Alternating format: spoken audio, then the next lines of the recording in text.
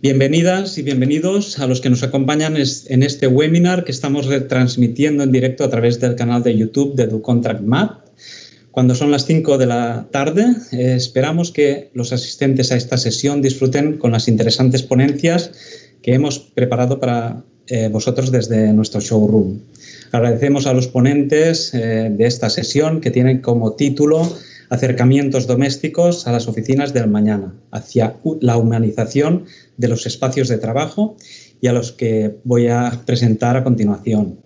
Eh, Ana Arana y Enrique Ventosa son arquitectos y fundadores en Plutarco y también promotores de Experimento, una comunidad creativa y laboratorio donde confluyen disciplinas como el diseño, la arquitectura, eh, el food design, la tecnología, el cine, la moda, la publicidad, el branding, la música, el arte y los medios. Eh, en este caso nos acompaña eh, únicamente Enrique, pero bueno, según nos, nos dicen, son en Plutarco son flexibles y disfrutan trabajando con técnicas nuevas y diferentes, combinando la arquitectura y el arte y les gusta corregir riesgos y evitar usar la misma solución dos veces. Andrés Romero es responsable comercial en Madrid de la firma Faro Barcelona, marca con más de 75 años de historia en el sector de la iluminación, que según declara en su página web, crean productos diseñados para la felicidad. Eh, Oriol Ventura es Product Manager en JG Open Systems, marca fabricante de equipamiento para espacios de trabajo, que tiene como misión crear soluciones para equipar puestos de trabajo de forma eficaz y saludable. Jacinto García es responsable comercial para TM Leader Contract, firma especialista en la fabricación de mobiliario tapizado para la hostelería, la restauración, las colectividades y el contracting. Maite Mosquera es eh, Showroom Manager en DoContract Mat, eh, proyecto colaborativo en el que 12 marcas complementarias comparten un espacio de exposición en la calle Velázquez 35 de Madrid, que ella misma explicará a continuación.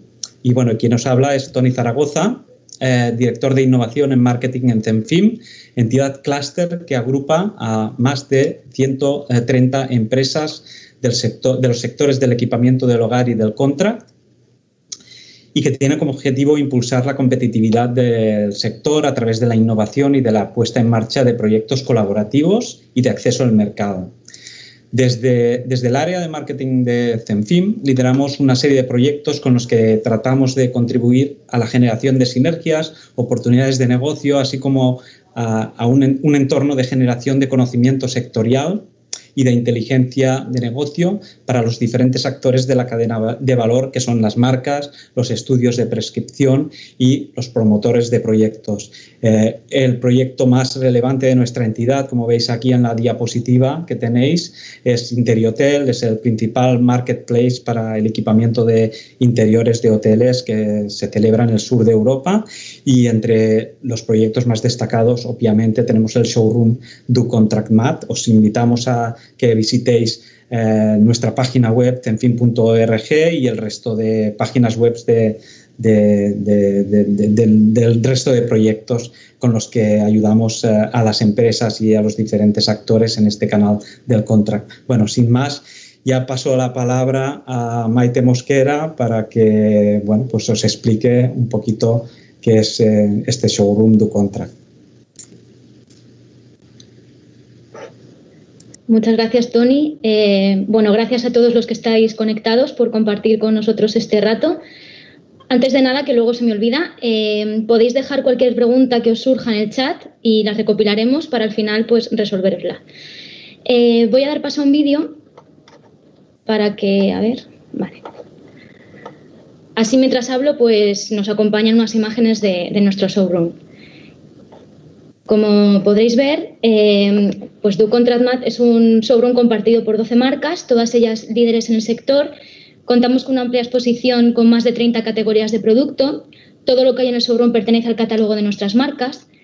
La idea de la que nace Do es facilitar el trabajo a arquitectos, interioristas y promotores, eh, todo aquel que busque soluciones para obra nueva o para reforma. En realidad, pues queremos ser un, sitio que os sirva de apoyo y de encuentro. En el showroom pues hemos recreado diferentes tipos de estancias para ver los materiales y productos aplicados. Tenemos una suite, mm, varios ambientes de baños, zonas de oficina en ellos se ve cómo pueden convivir los materiales y la capacidad de personalización. Eh, podéis ver funcionando las luminarias y también podéis probar las domóticas pues, con diferentes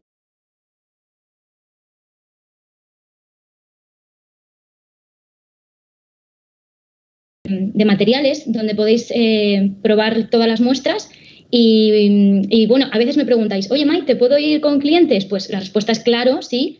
Eh, al final este showroom pues lo hemos hecho para que lo disfrutéis y bueno, yo estaré con vosotros para resolveros todas las dudas que os puedan surgir e intentaré que la visita pues sea lo más provechosa posible y posteriormente en caso de que queráis pues os facilitaré el contacto con las marcas que os interesen.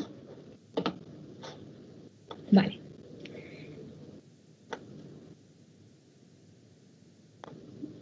Ahora voy a mm, explicaros brevemente ¿vale? las marcas que tenemos en el showroom para que podáis encontrar en una, para que veáis lo que podéis encontrar en una única visita. ¿no?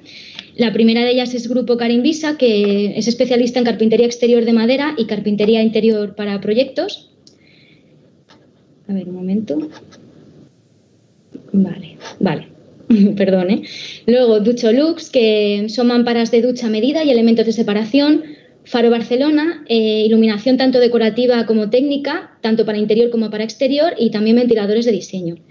Luego Flover eh, tiene todo un mundo de pavimentos vinílicos y de nuevos materiales, eh, tanto para suelos como para pared. Sona Arauco son derivados de la madera y acabados decorativos. JG Open System son mobiliarios de diseño y soluciones para oficina. Bueno, de hecho, JG Open System participa en este webinar, luego los, los, conoceréis un poco más. RCR Deco son pavimentos continuos y soluciones para pared tanto cementosas como de resina. Supratex eh, se encarga de todo lo que tiene que ver con el, con el, mundo textil que un proyecto puede necesitar. Además de las telas, pues eh, todo el tema de toallas, sábanas, mantelerías. Luego Tarimatec es una madera tecnológica y otros elementos que han diseñado para exterior. TM Líder Contra, que es mobiliario de asiento y auxiliar para proyectos. Vileroy Box son sanitarios, wellness y mobiliario de baño. Cenio, eh, domótica tanto para hoteles como para vivienda y creación de escenas y control del clima, entre otras soluciones. A continuación os, dejo aquí un pantallazo, ¿vale? Donde, bueno, pues aquí tenéis todos nuestros datos de contacto. Em, de todas formas, todo lo tenéis en nuestra página web. Si queréis venir a conocernos, tenéis que pedir cita porque así la idea es daros un trato más, más personalizado. Eh, además, eh, en nuestra web actualizamos todas las actividades que vamos haciendo y también las anunciamos a través de nuestras redes sociales, que si queréis seguirnos, pues arroba ducontractmat, está muy bien porque así estáis al día de todo lo que pasa por aquí. Eh, este es el tercer webinar que hacemos desde DuContractMath. Si os perdisteis los anteriores, los podéis ver a través de nuestro canal de YouTube, que yo os lo recomiendo, que han estado muy bien. Y, nada, estos webinars han nacido como sustitución a unas sesiones técnicas presenciales que no hemos podido hacer, lógicamente, pero que bueno, la idea es retomarlas en cuanto podamos. Y bueno, eh, tanto sesiones técnicas como otras actividades que, ya iremos anunciando. El siguiente webinar que habrá después del de hoy es, em, es un webinar para hablar de la personalización de materiales y cómo influye esto en un proyecto y el estudio que, pues, invitado que nos explicará pues algún caso de éxito y, estas cosas pues es Zigzag Dalmas, ¿vale? El día 16 a las 5. Y nada, ya pues voy a dar paso al arquitecto Enrique Ventosa, eh, que junto con su socia, como ha dicho Tony, Ana Arana, pues forman el estudio Plutarco. Su presentación comparte título con el webinar eh, Acercamientos domésticos para las oficinas del mañana. Y bueno, nada, decir que me hace mucha ilusión porque en lo profesional es un estudio que admiro muchísimo y en lo personal pues les tengo un cariño especial, así que pues nada, estoy encantada y deseando escucharles. Así que nada, bienvenido Enrique. Pues muchísimas gracias, Maite. Muchas gracias, Tony, por invitarme, en este caso que estoy aquí, pero invitarnos como estudio. Nos hace muchísima ilusión y, bueno, después de visitar vuestro showroom recientemente, eh, todavía más, porque sí que hemos podido apreciar todo esto que nos ha ido contando Maite y cómo hemos probado, tocado, visto cómo funcionan las marcas y decir que es un gusto, que es un proyecto excelente y que os animamos a que vayáis al showroom a conocerlo porque merece muchísimo la pena. Y bueno, sin enrollarme mucho más, como han dicho, eh, nosotros somos Plutarco. Eh, a ver un momento, que casi va a tocar yo sin liarme, pero voy. Vale, nosotros somos Plutarco, somos un estudio de arquitectura y diseño, aunque es verdad que también llevamos el espacio experimento, que es ese laboratorio creativo donde conviven todas estas experiencias y disciplinas. Y bueno, tenía aquí un poco nuestra definición, pero nos ha descrito súper bien Tony, entonces voy a pasar a manos a la obra. Eh, bueno, esto es un poco para ver el tipo de trabajos que hacemos, desde residencial, oficina, producto. La verdad que somos bastante inquietos y nos gusta probar y, y no encasillarnos solamente en una categoría. Vale, entonces, centrándonos un poco en estos acercamientos domésticos para las oficinas del mañana, nosotros vimos que, que venimos de esto, ¿no? Que era lo que teníamos en las oficinas en los 50 y los 60, estos espacios infinitos que parece que no ves el final o esos cubículos luego súper compartimentados. Y que parece que recientemente una de las únicas opciones que encontramos es el efecto, lo que llamamos el efecto Google, ¿no? Estas oficinas como super playful, que tienen un montón de cosas, pues tienen estas cosas de los globos aerostáticos o las mm, o las combinaciones a veces excesivas de color y materiales y creemos que tampoco tenemos que estar ni en un sitio ni en otro, ¿no? Que necesitamos que enfocarnos hacia que el futuro es una mezcla entre el, trabajo y la casa. En este caso, la casa entendida como comodidad. Entonces sí que os ponemos así unos ejemplos rápidos donde se puede explicar esto un poco mejor, ¿no? Cómo podemos incorporar estos espacios domésticos a, a, las oficinas o cómo podemos romper con el plano del techo para evitar tener como dos superficies lisas que nos encasillan completamente y dejando las instalaciones vistas o cómo la vegetación también puede jugar un papel muy clave para aportar ese exterior al interior y también, una vez más, jugar con esa idea de domesticidad. Creemos que es muy importante que la persona que trabaja y en su puesto de trabajo se sienta como en casa, eh, como decíamos antes, la casa entendida como algo cómodo, porque eso va a facilitar muchísimo más su forma de trabajar y los espacios que, mm, digamos, que constituyen este espacio de trabajo tienen que estar lo mejor diseñado posible para conseguir esa finalidad. Nosotros os vamos a contar hoy dos ejemplos. El primero es Experimento, nuestra oficina, coworking y galería de diseño y, arte contemporáneo emergente, eh, porque también creemos que los espacios de trabajo eh, mm, potencialmente funcionan mejor cuando conviven varios usos dentro de él. ¿no? Esto enriquece muchísimo más la experiencia y, por una parte, nos ayuda a que perdamos esa idea mm, excesiva de extensión en un espacio y podemos ir compartimentando en, usos y, digamos, sí, usos un poco más pequeños y domésticos. Eh, como podéis ver, en nuestro caso tenemos la, salida en este lado, entonces es como un espacio bastante forma de tubo, de quesito, que a veces decimos, donde solamente nos viene la luz natural por un lado y tenemos que en esta planta y la de abajo integrar todos los usos. Aquí la primera idea que nos vino a la cabeza era, teniendo estos usos tan variados que iban a convivir dentro de un mismo contenedor, teníamos que romper esa homogeneidad, ¿no? Eh, por eso cada espacio iba a contar con una personalidad completamente diferente para hacerlo único y especial. Eso sí, todos tendrían que convivir dentro del mismo contenedor porque la idea no podíamos cerrar eh, con diferentes, mm, digamos, eh, divisiones, porque si no nos quedaríamos sin luz natural. Eh, esto, a la hora de compartimentar, era como os decía, nos ayuda a poder trabajar en espacios un poco más, más reducidos, más domésticos y fomentaría mm, esa sensación de sentirte como en casa o mucho más tranquilo. voy a contaros cada uno de ellos y cómo lo hemos enfocado, porque para nosotros también es muy importante, eh, como decíamos, que cada espacio tuviera su personalidad y que eh, los referentes que habíamos utilizado a la hora de diseñar estuvieran súper claros. Eh, siempre pensamos que cuando se diseña tener un referente es súper clave porque eh, conseguimos que el concepto gane importancia, esté completamente cerrado y se pueda explicar mucho mejor tanto al visitante como a la persona que puede convivir en él. Entonces, la Naked Room, que era la parte exterior, la entendíamos como un espacio completamente versátil que tenía que albergar la función de para eventos, la galería, incluso algunos talleres y workshops.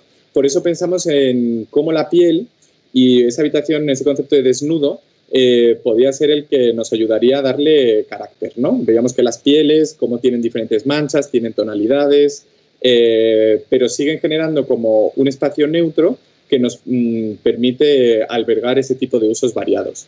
¿Cómo podíamos aterrizar este concepto un poco más abstracto ¿no? de cómo una habitación desnuda se puede integrar en un espacio?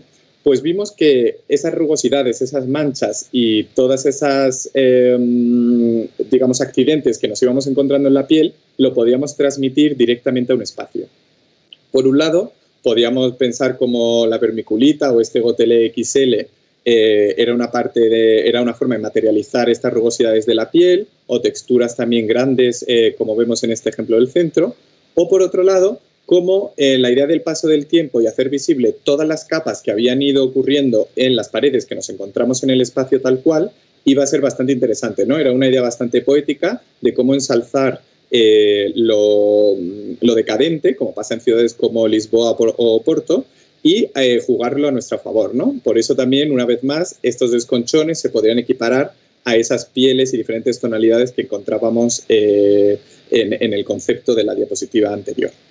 Esto se podía materializar en este ejemplo. Vemos cómo la estructura con la vermiculita se ha dejado vista en vez de ocultarla. Se ha pintado de un color mm, rosa, eh, color carne, ¿no? que se parece mucho a la, pared del fondo que fue la que nos encontramos.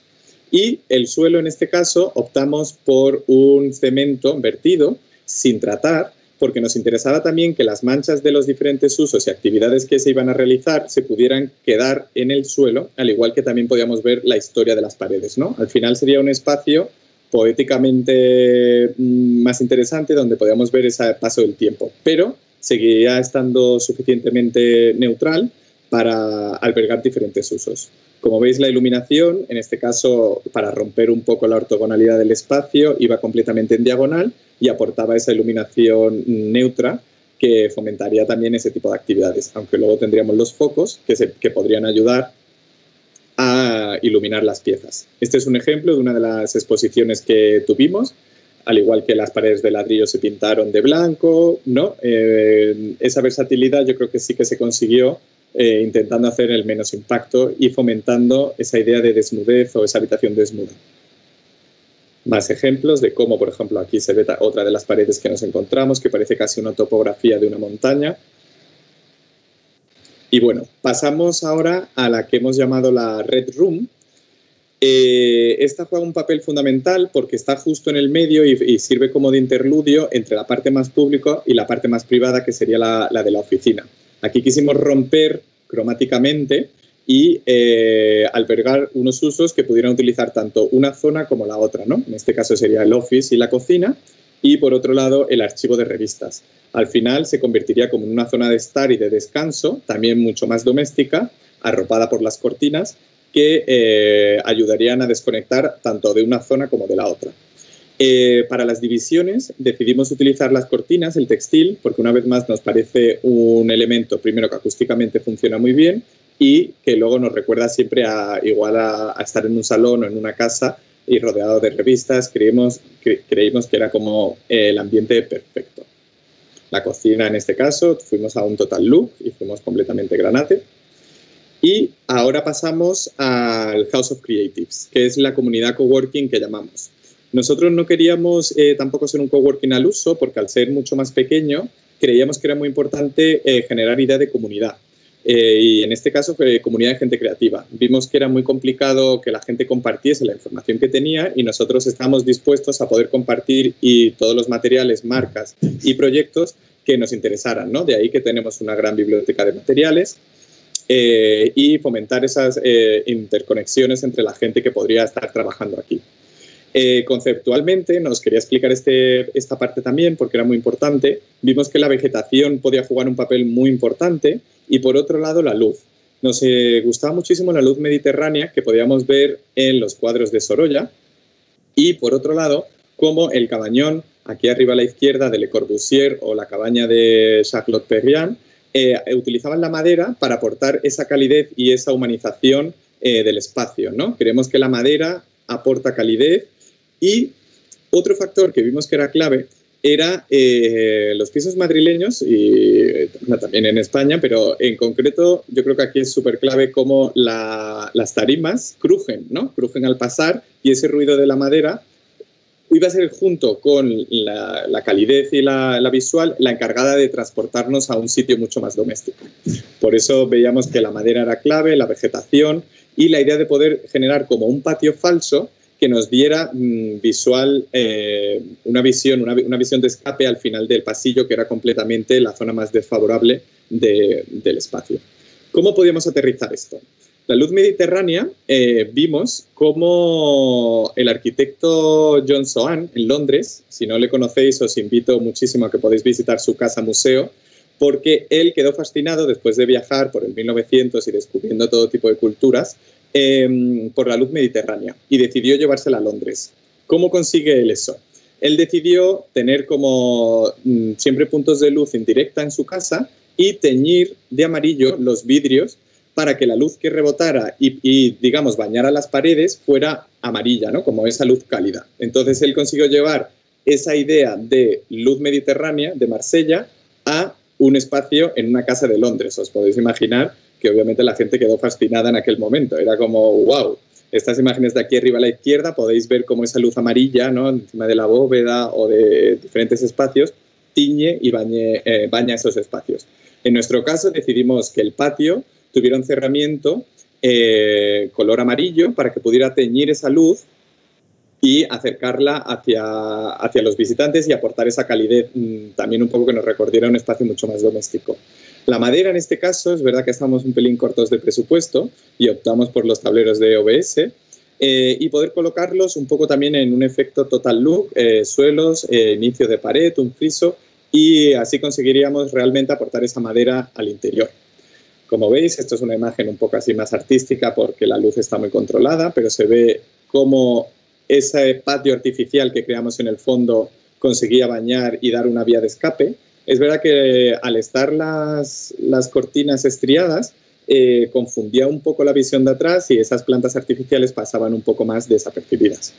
Apreciamos también el suelo de madera, eh, como también levanta un friso y conforma los espacios de trabajo. Eh, decidimos aquí utilizar pues, una chapa metálica para poder colgar, veréis aquí detrás en mi espalda, cómo cada uno se personaliza su espacio y puede hacerlo más suyo y con ese eh, almacenamiento perimetral arriba eh, terminaríamos de cerrar lo que iba a ser los espacios de trabajo. Una división un tanto minimalista para tampoco cerrar y no volver a esos cubículos de los que hemos visto antes, que creemos que no es la solución y un poco más imágenes del espacio y las zonas comunes y cómo incluimos esta verja para poder cerrar y bloquear el espacio de trabajo si se utilizaba como un evento. La idea de, una vez más, lo privado y lo público era súper importante eh, en este caso. Luego el tema del baño, nosotros como anécdotas contamos que para nosotros el baño es súper clave, tiene que ser igual de excitante que cualquier espacio de, cualquier proyecto. Y si cuando vamos a un restaurante lo primero que fijamos es en el baño para ver qué tal es. Y entonces ya lo catalogamos como han llegado, el nivel de detalle ha llegado hasta el baño, entonces merece la pena y, y es un aplauso. Nosotros decidimos hacer aquí como un poco un juego óptico con blancos y negros, un color oscuro para limitar la altura y una vez más utilizar la iluminación para que con ese espejo rebotara y no hiciera falta, por ejemplo, el uso de falso techo. Finalmente, en este espacio eh, tenemos la que hemos denominado la Dark Room. Es un espacio al que nos gusta llamar clandestino porque está oculto, está, es no es muy fácil de encontrar y buscamos referencias, pues eso, como un búnker un de Berlín se había convertido en una galería o las discotecas berlinesas, ¿no? Como con la luz, la poca iluminación, se conseguía un espacio completamente controlado. O eh, trabajos como los de Joseph Boyce y su habitación completamente en plomo. Eh, buscamos esa idea como de clandestinidad y oscuridad eh, que pudiera sorprender al espectador. ¿Cómo decimos materializar esto? Pues utilizamos también suelos continuos, en este caso de resina, que pudiera reflejar todo, mm, toda la poca iluminación que había. Fijarnos en artistas como James Tarrell o la Fureliason, y en este caso también en Yayoi Kusama, arriba a la izquierda, como con, la, con los reflejos y la poca iluminación podíamos, eh, digamos, romper los límites del espacio y conseguir hacer que un espacio pareciera muchísimo más grande. Por eso, como veréis ahora en las fotos, el suelo es azul, las paredes son azules, el techo es completamente oscuro y si cuando se consigue cerrar completamente con la, con la cortina, eh, puedes llegar a estar incluso bastante desorientado. Este es un ejemplo más. Al final hay un espejo que multiplica el espacio por dos. Entonces, también con la poca iluminación conseguimos realmente mm, desdibujar los límites del espacio. Esto es un ejemplo eh, de una de las escenas que se han hecho y cómo el espacio es suficientemente versátil para albergar también este tipo de actividades. Y el segundo ejemplo que queríamos mostraros es la oficina de Neurats, eh, que una vez más también apostamos por un programa mm, mixto, que era una oficina, un plató y también espacio para eventos. En este caso era una antigua cochera, entonces la distribución era bastante libre y pudimos mantenerla así. Aún así tuvimos que cerrar, hacer cabinas para teléfonos, salas de postproducción que nos pedían que fueran completamente oscuras o salas de reuniones que fueran eh, suficientemente versátiles para abrirse y poder eh, convertirse en un plató o toda esta parte primera albergar eventos. Como veréis, decidimos en este caso mantener el suelo existente en toda la oficina, pero para mejorar la acústica en las salas eh, utilizar moqueta y textiles para ayudarnos a controlar acústicamente y luego también hacerlo muchísimo más hogareño. Al final, ese contraste, esa ruptura entre ese suelo continuo, evitando ese suelo continuo, conseguimos eh, que los espacios se puedan controlar individualmente y fomentar usos eh, mucho más apetecibles. En este caso, como referente, utilizamos a David Lynch y sus películas, como la moqueta era súper importante, las cortinas también, el terciopelo, la gama cromática. Esto nos ayudó a, eh, a la hora de poder diseñar esos espacios y dotarlos de esa domesticidad que era la que nos interesaba. En este caso, eh, una de las apuestas más importantes que hicimos fue una de las paredes. La decidimos equipar completamente con todas las instalaciones, almacenaje, eh, em, estanterías que albergan esos, esos pequeños usos. Y eh, utilizamos este azul que rompiera completamente con la neutralidad del espacio y cómo las estanterías finalmente se acabarían convirtiendo en las mesas de trabajo. ¿no? Cromáticamente creemos que funciona muy bien y cómo una vez más conseguimos romper un espacio muy grande eh, y hacerlo mucho más cercano. Esos son los puestos de trabajo, con las mesas todas eh, equipadas, electrificadas. Y luego a las fotos que veréis le hemos intentado dar ese toque de David Lynch también un poco post-apocalíptico, por eso veréis un poco de humos y papeles volando. Pero eso es para que os hagáis eh, la idea del espacio, cómo decidimos integrar la salida del aire acondicionado con este lenguaje de, de circulitos arriba de las salas las salas también nos sirvieron como justo la máquina para poder eh, controlar climáticamente el espacio. Em, una vez más, lumínicamente decidimos reutilizar los fluorescentes que ya había en la, nave eh, y poder mm, distribuirlos en el espacio para conseguir esa iluminación controlada esta visión vemos cómo al final está la sala azul, que es la de postproducción, necesitaba que fuera completamente oscura. Las rojas son las cabinas de llamadas y de trabajo individual y luego la verde es eh, la sala de reuniones. Vemos cómo el color, en nuestro caso, juega un papel fundamental. Es el encargado de dotar a cada uso de su característica, aunque ambos, aunque ambos eh, digamos, todos comparten el mismo uso de color, total look, eh, textil y, ay, ¿cómo sale? moqueta y romper completamente con el espacio de trabajo y las zonas un poco más controladas, ¿no? Como la, la sola azul, esto fue a petición del cliente, querían que fuera una vez más completamente casi azul oscuro, casi negro, que los, que los de montaje tuvieran ellos el, control total de la luz. Y la sala de reuniones con este sistema de apertura en zigzag, que era el que nos permitía abrir el espacio y, con, y con, digamos, conectarlo con el plato. Finalmente, la zona de, cocina, eh, que era la zona común al final del espacio, con el gran lucernario y esa vegetación integrada en el espacio que una vez más siempre luchamos por, por tener. ¿no? Creo, creemos que es súper importante, no tener plantas de plástico, y mm, tenerlas naturales para que también ese esfuerzo de regarlas y ese olor eh, nos ayude a generar ese ambiente completamente mucho más cercano a la casa. No sé si ha sido muy breve o ha sido muy rápido, pero bueno, os contamos, queremos daros una vez más las gracias y, bueno, eh, estamos, vamos, con muchas ganas del, debate para poder aportar nuevos puntos de vista que no hemos podido integrar en esta conversación, en esta presentación, pero que creemos que también nos van a ayudar a definir esos espacios eh, de trabajo del mañana.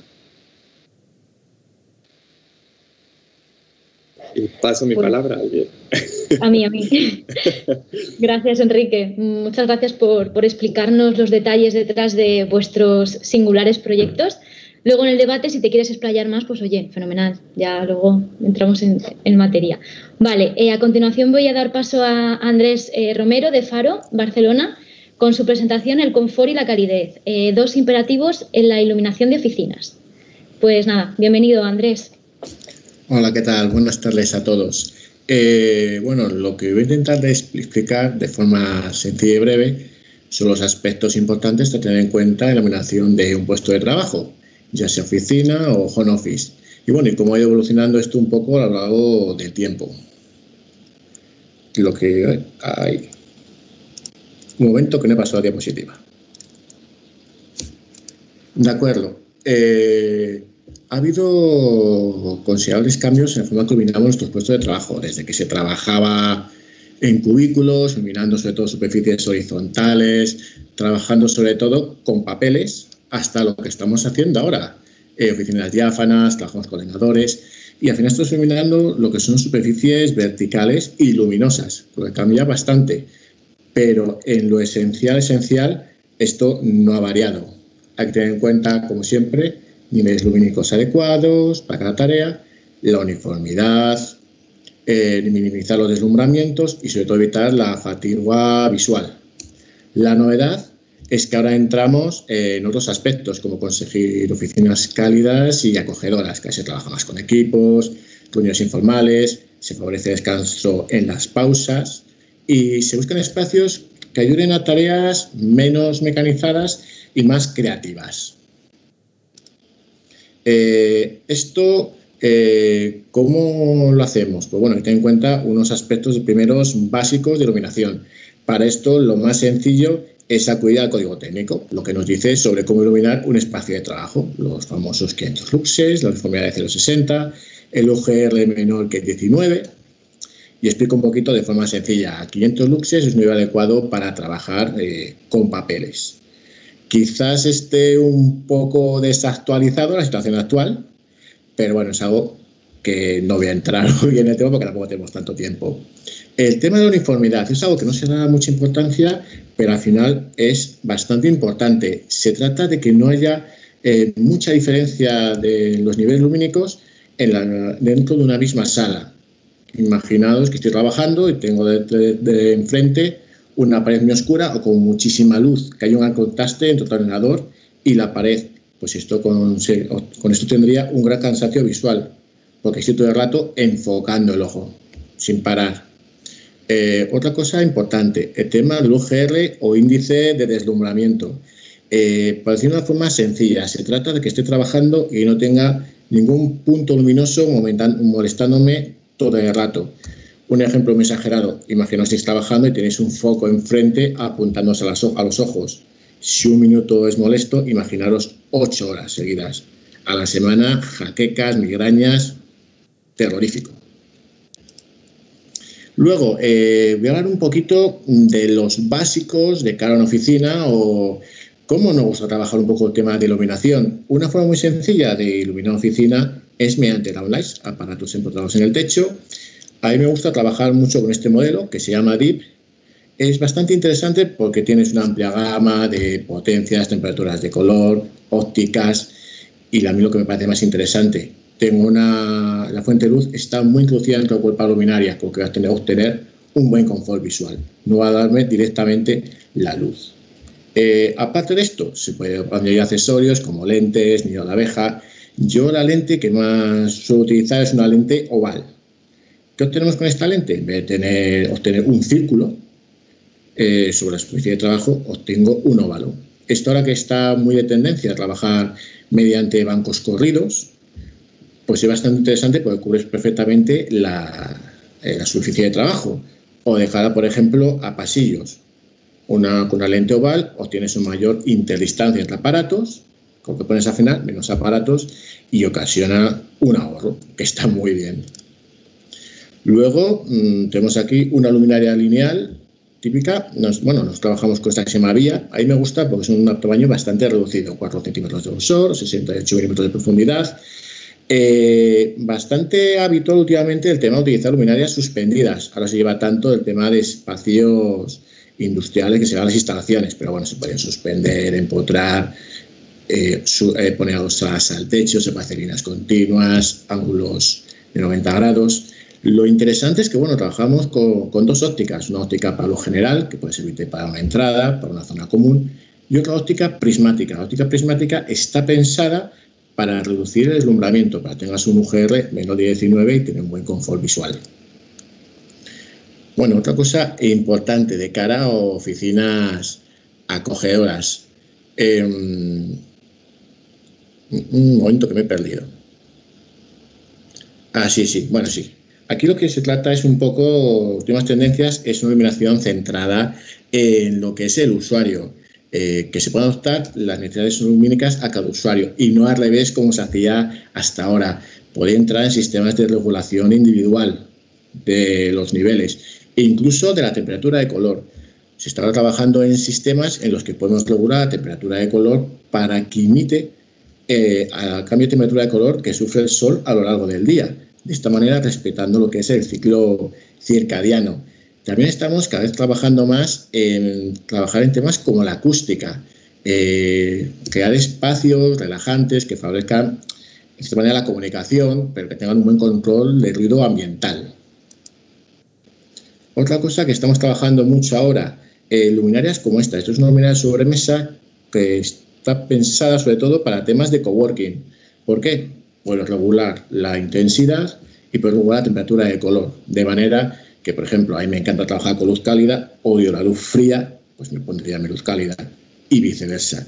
Y lo que yo veo más práctico es que eh, abre muchísimo y una superficie lumínica muy uniforme. No pasa como otros tipos de flesos que te dan una luz muy puntual que luego se va degradando. ¿no? La idea es que sea uniforme, que al final eso va a recabar un confort visual. La luminaria mute, esta la habréis visto en el showroom de Contra, quienes hayáis pasado por allí. Es una luminaria que está formada por un. está hecho de un, las pétalos de un tejido reciclable que lo que permite es absorber la reverberación.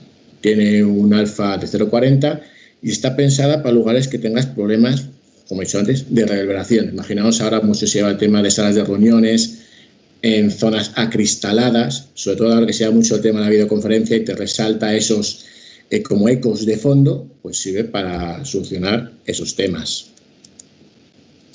Eh, aquí tenemos otra luminaria. Es un desarrollo de la luminaria lineal que teníamos antes, la vía. Lo que hemos hecho es aplicarle la caperuza del mismo tipo de material y esa idea que teníamos eh, de cara a una sala de reuniones, una cafetería, meterla ya en la oficina general, que ese murmullo que se crea de fondo muchas veces cuando está bien trabajada la acústica, poder tenerlo también eh, en las zonas eh, de oficina puesto de trabajo puro y duro.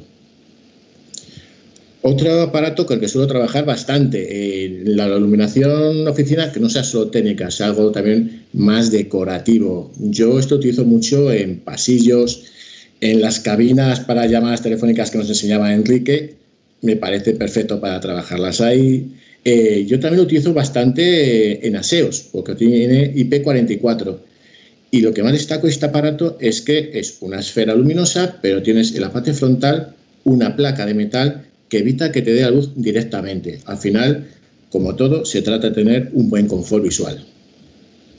Otro aparato típico de oficinas, pues habla tanto de los básicos, es una luminaria stand, es una luminaria suspendida, líneas muy suaves, muy limpias.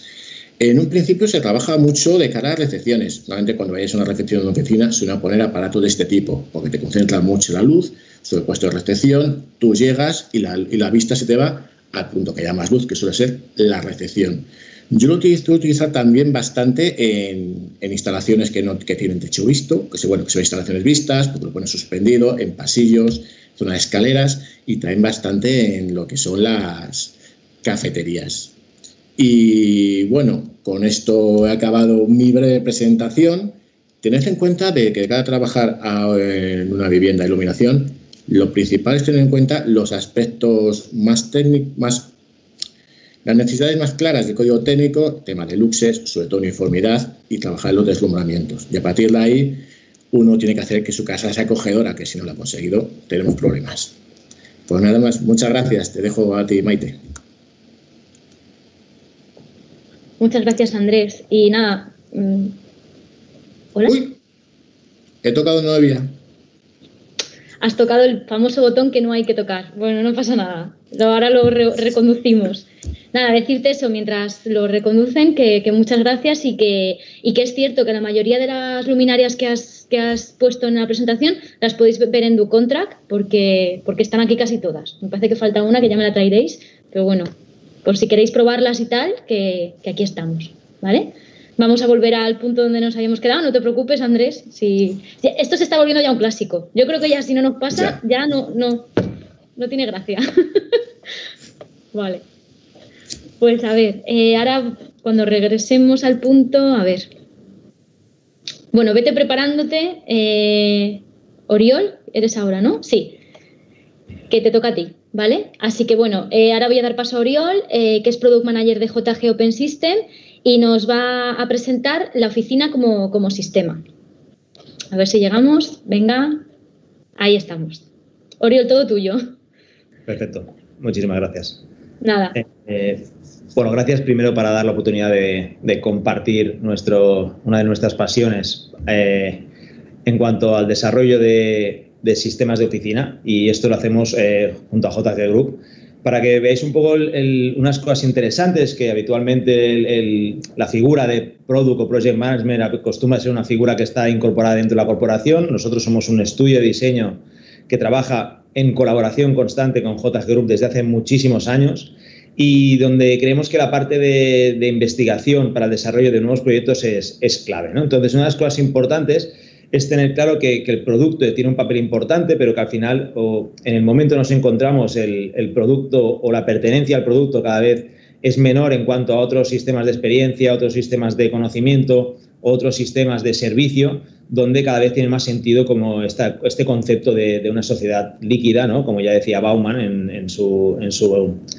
en su manera de pensar, digámoslo así, y, es importante tenerlo en cuenta y para ello tener eh, presente todos los aspectos contemporáneos en relación a lo que sería la, sociedad o los cambios que está subiendo la sociedad son importantes en el momento de desarrollar eh, proyectos. Entonces, un poco lo que hacemos es esto, ¿no? hacer mucha investigación, muchísima investigación para incorporar luego en proyectos. En este caso, eh, JG Open Systems es una de las empresas en las que permite eh, poder desarrollar proyectos de investigación para luego ser aplicados no en un solo producto, sino aplicados en muchísimas gamas de producto a través de, estas investigaciones previas. Esto es una manera de trabajar que, tenemos eh, tanto en, en, Obiquo como en colaboración con JG. Bien, paso ya un poco a explicar, explicar cosas. ¿no?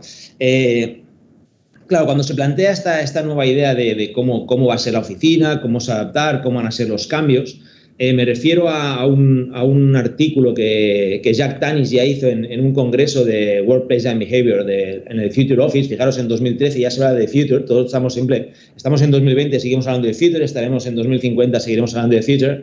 Y, lo que está claro, de las cosas que plantea es que hay oficinas que son como son, son lo que son y no van a cambiar. Hay muchísimas oficinas que llevan muchísimo tiempo en una situación estática lo que sí está claro que eh, es un elemento en el que ya no nos debemos fijar, por lo tanto, es un elemento del artículo de Tanis que eh, yo quito directamente, me lo salto, digo, me, salto a Tanis, me lo digo ya, no voy a fijarme en las que son como son. Sí empezaremos a fijarnos en estas oficinas que poco a poco se van cambiando, esa idea de refinar, de replantear alguna modificación, que es esta constante en la que nos encontramos en nuestro día a día. Pero ya estamos conscientes en esto que hablábamos de, cómo pensar el futuro que casi todos nos estamos redefiniendo constantemente. Si bien estamos en un límite concreto, cada día pues nosotros en el despacho, las empresas, las instituciones, se están redefiniendo y estamos ya con este mundo de que o me redefino o ya no estoy en la rueda de cambiar de forma constante. Y por último, son aquellas empresas que se transforman y pasan de un modelo productivo a un modelo de servicios, a un modelo de etcétera. ¿no? Tanis lo organizaba de esta manera. Y al final, de conclusión de este, de este, de este estudio de Tanis, una cosa que me interesaba mucho, o nos interesa en, siempre cuando hablamos de oficinas, es que al final lo que estamos hablando de cambio, ¿no? Y dices, bueno, ¿por qué, tipos de cambio hay? ¿no? Cuando hablamos de oficina, ¿qué, ¿qué, tipos de cambio nos podemos encontrar? ¿no?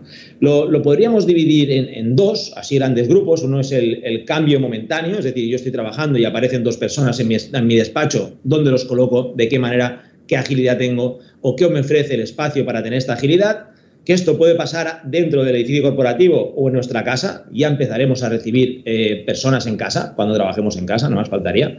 Y eh, por otro lado, eh, sí que hay un cambio previsto. Es decir, el martes por la tarde ah, tenemos una reunión, tenemos un evento, como, como bien se planteaba antes, ¿no? Tenemos una cena, tenemos un evento y tenemos esa hibridación de espacios que cada día más nos encontramos en el ámbito oficina, el ámbito retail, el ámbito hospitality, que ya convivimos en, en un mes constante en, en, nuestra, en nuestro entorno. Y esto lo hacen, al final, lo hacen la idea del concepto de red, que es mucho más interesante. Entonces, bueno, yo pensaba, ostras, ¿cómo, ¿quién antes que nosotros se le ha ocurrido esta idea de cambio? ¿no? ¿Cómo, ¿Cómo cambian las cosas? ¿Cómo cambian los entornos? Y claro, hay un movimiento muy interesante, que seguramente conocéis, no os voy a descubrir nada nuevo, que es el, el movimiento metabolista, que encabezado por, por eh, Kisho Kurokawa, desarrolló esta torre que ya han desmontado, que es la Torre Nagajin, que trabajaba por esta idea de, de, un cambio en un mismo emplazamiento. Es decir, aquella oficina que tenemos y donde estamos la vamos cambiando constantemente.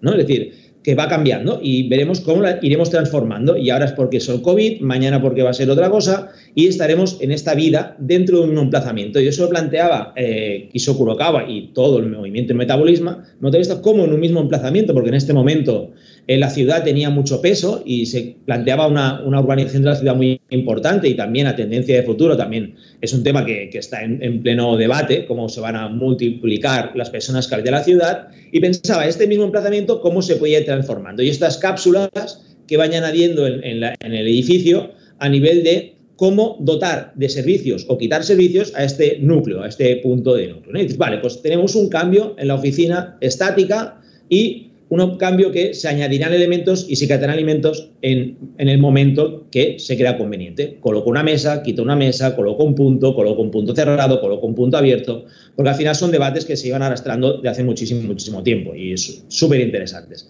Claro, entonces es cambio en un emplazamiento, pero si me fijo en otro movimiento arquitectónico, más o menos contemporáneo, eh, pero visto desde otro punto de vista, eh, vemos el movimiento arquitectónico del que no hubo construcción, pero un movimiento eh, principalmente conceptual, o un movimiento bastante claro, que es el movimiento de, de Archigram, y donde eh, su emblema, si antes teníamos a Kisho Kurokawa, ahora tenemos a Peter Cook, pero este proyecto en concreto es de, es de Ron Ernst, y eh, lo que plantea es esa idea de cuando se acaban los recursos, lo que hago es moverme, ¿no? Es decir, eso ya es un concepto muy antropológico, es decir, cuando mi oficina ya no da más, me muevo.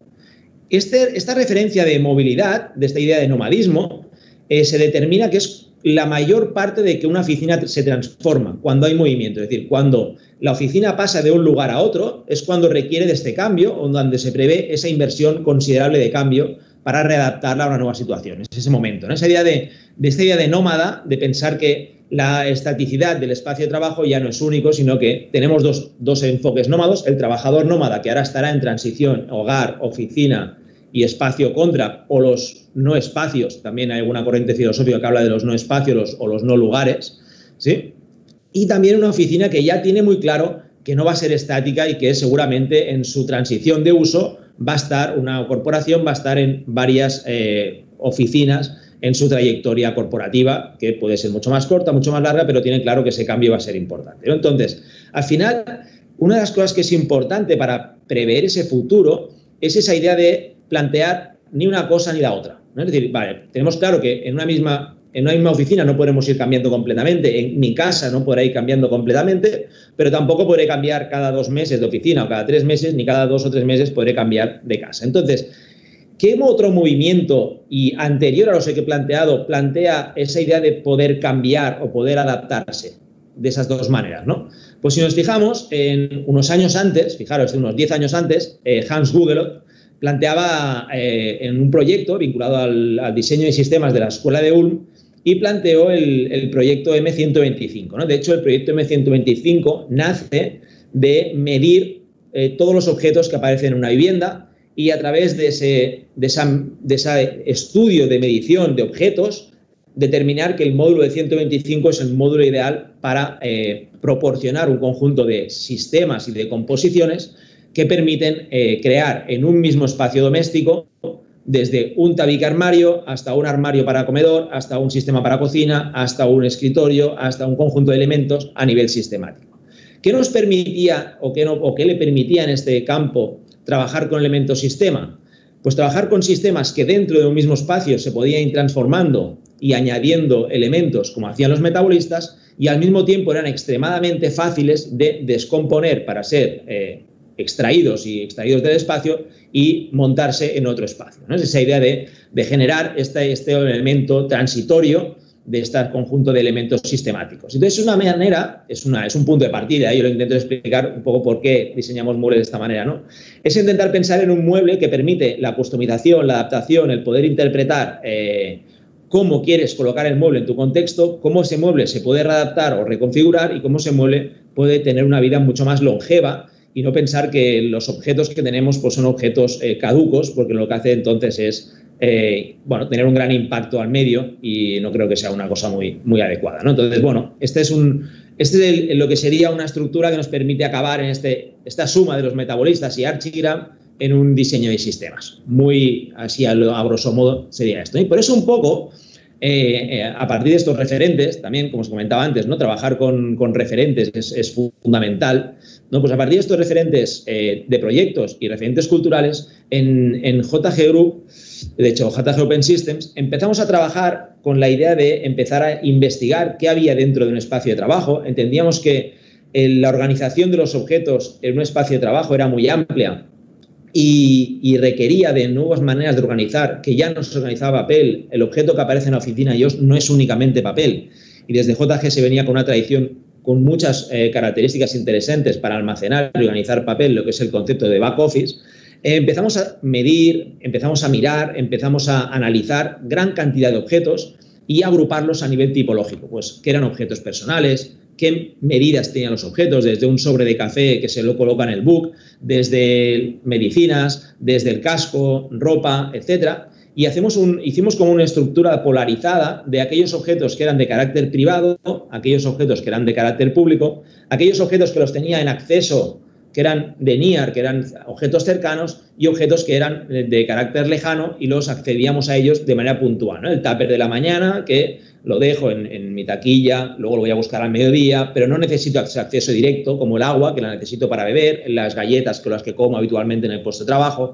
Y ahí empezamos a organizar todo un sistema a partir del cual empezamos a pensar objetos que eh, fueran para organizar la oficina y se convirtieran en elementos estructurales de la oficina, como ejes para organizar la oficina. Entendiendo que, las paredes eran, evidentemente, los sistemas de compartimentación fijo, móviles, mamparas, eh, tabiques móviles, visto una corredera también súper interesante, son elementos que, si bien dividen, todavía no permiten el almacenaje. ¿no? Y entonces empezamos a pensar todos estos sistemas. De ahí, de todo este estudio, empiezan a salir pues, dos o tres colecciones de producto siempre vinculadas a, la organización de, objetos dentro del espacio, o, también podríamos situarnos en almacenaje, pero lo que hacen es ayudar a organizar. Y de ahí nace eh, el sistema eh, que podéis ver aquí, que es el sistema Nodum. ¿no? Es, un, es, un, proyecto que, podréis eh, ver en el showroom, supongo, en breve. Y, y, lo que te permite es, a través de un configurador, componer a nivel de estructura, a nivel de materiales, a nivel de acabados, a nivel de, de, bueno, de composición cualquiera de las situaciones que uno pueda plantear en su oficina y al tratarse de un sistema permite de un sistema de fijación de unidades mecánicas que lo puedes extraer. Además, antes también se hablaba de esta hibridación, es un producto que sí está pensado a través de las medidas y las proporciones de un entorno de, oficina o entorno de trabajo, pero como podéis ver es un objeto que también se puede eh, extrapolar a entornos mucho más eh, compartidos, mucho más públicos, mucho más contract e incluso eh, se plantea el hecho de que también puedan ser eh, productos de hogar, porque esta hibridación que comentábamos antes es, interesante. De hecho, es un producto que, bueno, que llevamos tiempo trabajando porque parte de esta investigación es, un documento, como os decía antes, de casi 300 páginas explicando todo, de qué manera, etcétera, y acaba en, un objeto, ¿no? que no es, casi es lo más importante, pero sin el estudio previo no hubiéramos llegado a este objeto. Y luego, pues estamos contentos porque hace poco nos dieron, en la anterior presentación que vimos del CENFIN, pudimos explicar que nos habían dado al equipo un Red Dot, pues la semana pasada tuvimos la suerte de estar seleccionados para la selección Delta, como muchos de los que estáis aquí, que tenéis proyectos muy interesantes como el de Dani de Natran, que he hecho con este cuadro, etcétera. Lo cual me parece súper interesante que a nivel nacional también se dé peso al diseño y lo que se está haciendo interesante. Entonces, bueno, es un ejemplo esta idea de investigación, concepto, idea, pasada a producto. Y luego este, este impacto pasa también a otros productos como pueden ser el 60-40, ¿no? lo que os comentaba, esta idea de, de, armarios que van a pared y que tienen una cierta lejanía respecto al punto de trabajo, armarios y sistemas que te permiten dividir y compartimentar, zonificar eh, lo que sería la oficina, etc. Entonces eso se puede ah, reconfigurar de mil acabados, en cantidad de acabados, eh, se pueden hacer elementos especiales y aquí hay más conceptos ya de diseño como el perímetro, como la importancia del nudo, cosas más de detalle, pero que son al final aspectos formales que son importantes para el acabado final del producto, pero no son importantes casi para, para lo que es el, concepto. ¿no? Y es una manera de, de, entender cómo en una empresa que cree en la investigación y cree en, hacer buenos análisis y generar buenos conceptos, puede sacar un conjunto de gamas de productos vinculados a ellos y tener un, un discurso al menos muy coherente con, con, su manera de fabricar y su manera de hacer, que es lo que hace JG. ¿no? Entonces, de ahí ¿no? los valores que se transmiten a través de, la investigación, pues al final JG se convierte en, una empresa que trabaja con sistemas abiertos, sistemas capaces de adaptarse, y no solo en Armari, no solo en lo que hemos diseñado nosotros como Vico, sino en cantidad de eh, propuestas de producto que tiene la, corporación, la empresa, entonces es importante. Además, además, al tratarse de una empresa que está eh, diseñada o estructurada eh, de una forma ágil permite que esa idea de problem solvers, esa idea de, adaptarse a cada proyecto, es una empresa muy ágil con la capacidad de generar productos especiales eh, enfocados a cada proyecto y tiene un valor muy alto por el proyecto y por lo que hay detrás del proyecto y no solo por el objeto. Y bueno, también, eh, como, como no, ¿no? JG tiene una tradición sobre sistemas de almacenaje o sistemas de, organización y realmente es, es, esta idea de storage lovers que se planteaba de, de cómo pensar, ¿no? Siempre en cómo almacenar cosas, cómo las guardamos, qué guardamos, de qué manera. Y bueno, es un poco los, los tres pilares que estructuran eh, JG Group, eh, JG Open Systems y eh, además a más, bueno, pues también plantear que es una empresa emplazada en, en, Barcelona, pero que tiene un gran impacto internacional exportando a más de 57 países. Y bueno, la conocéis muy muy bien porque está en el showroom.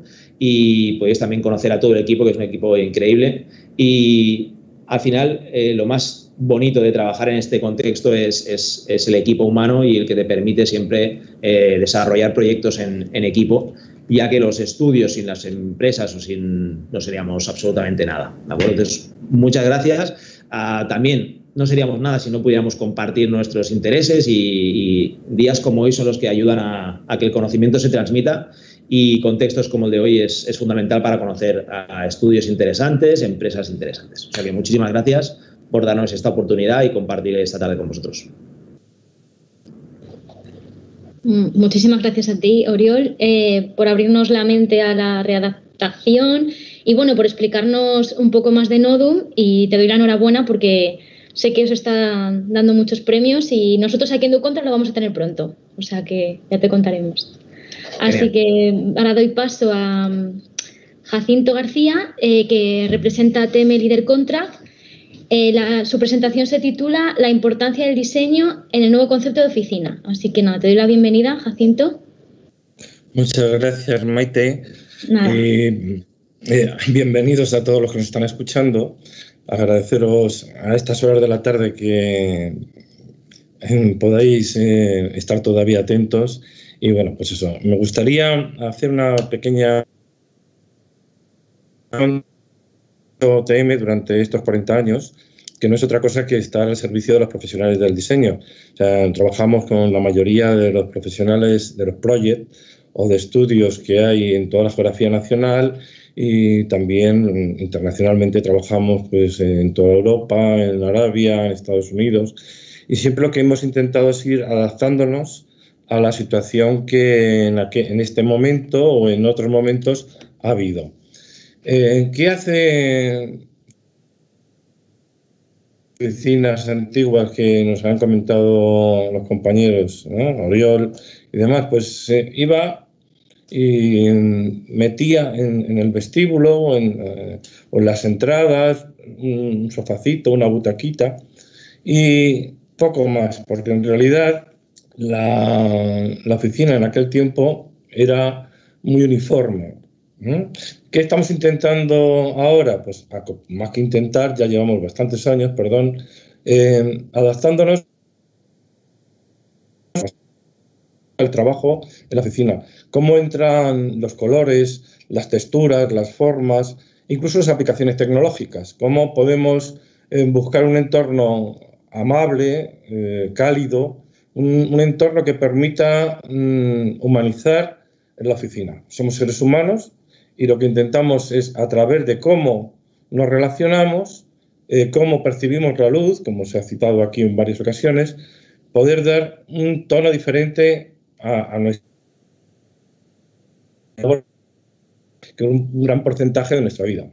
Por lo tanto, eh, paso a exponer algunos detalles que hace eh, TM Sillería, el grupo líder, pero fundamentalmente lo que estamos es al servicio de los profesionales, a la vez que tenemos un equipo de diseño propio. Mm, ¿Dónde hacemos todo esto? Pues en nada más y nada menos que en 16.500 metros de fábrica, pero además 1.500 metros de investigación, que son nuestra exposición. Exponemos lo que nos han presentado previamente, lo que nos han solicitado, nos han dado ideas y nosotros a través de nuestro equipo de diseño también vamos materializando por lo que comentaba, formas, texturas, eh, aplicaciones, colores. Eh, ¿Con qué trabajamos? Pues trabajamos, por supuesto, con telas, pero también trabajamos con madera, trabajamos eh, con metal y de aquí sacamos un montón de cosas que vamos a ir viendo. Y digo, adicional, una oficina diferente a la vez, porque si nos fijamos en, los sofás, son diferentes. Las formas, eh, la aplicación de pieles eh, extrañas, o sea, extrañas entendiendo como tal porque no son comunes, pero también trabajamos mesas, trabajamos eh, mm, materiales como la madera y mm, lo que intentamos, como decía, es acoplarnos a lo que hay actualmente. En las, salas en las que ya no se habla uno enfrente de la mesa del otro, sino que se habla em, en, sofacitos, en butaquitas, en mesas, en sillas que se puedan trasladar, que se puedan combinar, que podamos crear un ambiente, como decía, amable y, más, eh, más amigable. Otro tema que también se trabaja eh, mucho, que son los puff, los puff, eh, que como veis aquí son colores, son, formas, hay rectas, curvas, hay semicurvas, hay, hay, de todo. ¿Para qué? Pues para que cada uno pueda sentirse único, para que cada uno pueda mm, aceptar lo que realmente haya en ese momento y ser singulares, que es lo que hoy es la, la, la oficina moderna, que estábamos hablando de Google, pero ahora infinidad de ellas eh, buscan el puesto de trabajo informal y esto es lo que intentamos con este tipo de oferta. ¿no? Siempre sujeto. También podemos mm, eh, utilizar una mesa para trabajar de forma democrática en la cual no hay una cabecera, sino que lo que hay es participación de todos, mesas redondas, mesas que hacen arco. Eh, en realidad lo que intentamos, como decía, es un, entorno de trabajo más amable, en el que podamos desconectar, porque mm, tenemos barras con sus eh, correspondientes eh, taburetes, taburetes de mil formas. Lo que estamos es abiertos a la sugerencia eh, que nos pueden decir, además de tener 400 hojas en nuestro catálogo estándar. Pero también hay otra cosa, que es la, como estábamos comentando, no solamente la oficina moderna, sino que muchas veces trabajamos en casa. ¿Y qué hacemos en casa? Pues hacemos cosas diferentes. Hacemos estas butaquitas, como, como estas butaquitas, estas mesas diferentes, mesas que nos sugieren, mesas que nos pueden ayudar a ver la trabajo común. Eh, pues lo mismo, es otro, otro, ejemplo de cómo podemos trabajar, cómo podemos eh, eh, estar en un entorno amable. Y esta es una muestra de, cómo podemos hacer zonas de descanso mmm, atípicas, no muy comunes. Estamos viendo unos sillones con un respaldo que se puede, serían un orejero moderno, ¿no? Pero también, eh, si nos fijamos, a, eh, estos puestos de convivir, un sofá bajito que, que, tiene un respaldo, combinando con las butacas, con las sillas, con los taburetes. Esto es pues, una sala de descanso o una sala de trabajo, según eh, queramos enfocarlo, que en realidad pues, eh, para eso está la imaginación. ¿no? Y bueno, pues eh, como decía, estamos al servicio de los profesionales del sector y, ofrecemos ideas, 40 años de experiencia, ISO eh, 9000, 14000, 14006 de diseño y bueno, trabajamos prácticamente, como decía al comienzo, en todo el mundo y con los, la mayoría de los project managers que hay. No quiero ser pesado porque ya es muy, muy tarde. Os agradezco la atención y paso el testigo a quien crea oportuno Maite. Muchas gracias, Jacinto, por tu presentación. Eh, bueno, antes de, nada, espera que tengo que, me parece que tengo alguna diapositiva aquí. Vale, eh, os recuerdo la próxima sesión, ¿vale? Que será el 16 de julio eh, con el estudio Zigzag Dalmas para hablar de personalización de materiales. Y ahora ya sí que sí, pues pasamos a, lo que es mi parte favorita, en la que os hago tres preguntas y sirven pues para sacar una conclusión entre todos y podéis responder libremente, podéis abrir micros ya y así pues nos queda un, una parte mucho más distendida y a ver qué tal. A ver, voy a voy con la primera, ¿vale? No sé si esto, a ver. Vale, ahí estamos. A ver, eh, primera pregunta. ¿Estáis todos con los micros abiertos? Sí. ¿Que nos veo? Vale. Vale. A ver, ¿cómo afectará la pandemia a la tendencia de diseñar oficinas como espacios abiertos y confortables? ¿Creéis que habrá un cambio de tendencia hacia espacios con otro tipo de funcionalidad? Eh, ¿O acabaremos eso, eh, volviendo a construir cubículos como en el pasado, como ha comentado Enrique, que ya estábamos viendo esa tendencia? Y, ¿O qué creéis? ¿Nos aislaremos o, o no haremos eso?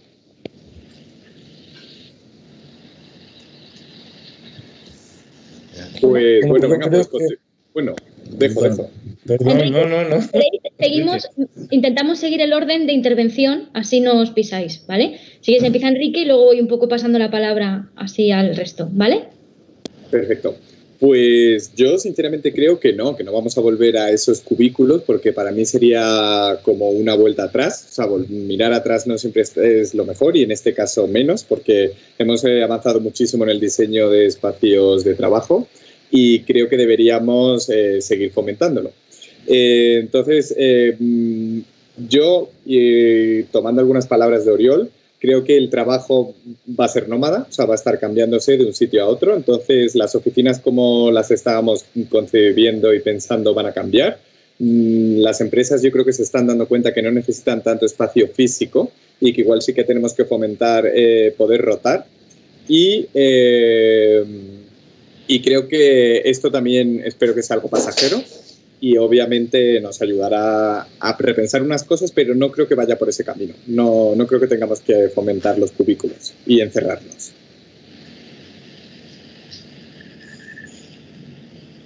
Andrés. Esto, pues bueno, Maite, yo estoy con Enrique. La idea de volver a los cubículos de antes no lo veo razonable. Y más ahora que estén poniendo también un poco el tema del teletrabajo la idea yo creo que es avanzar más a, puestos rotativos o tener el típico puesto que llevas un día, trabajas un par de horas en la oficina, te vas a ver un cliente, vuelves, ¿cierto? Para puestos administrativos eh, yo creo que al final va a ser oficinas cada vez más flexibles y con menos gente asistiendo a ellas.